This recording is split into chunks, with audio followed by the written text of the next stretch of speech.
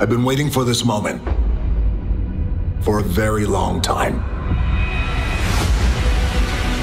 This is the one.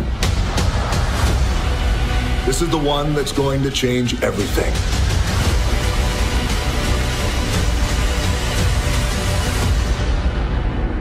This is Black Adam.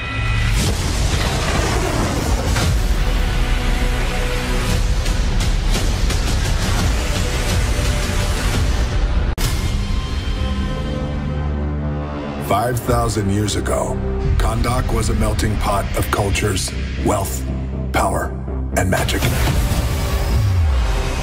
Yet most of us had nothing, except for the chains around our necks.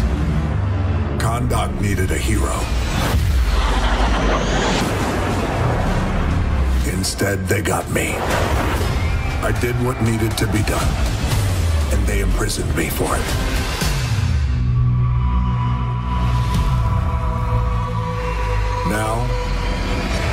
5,000 years later,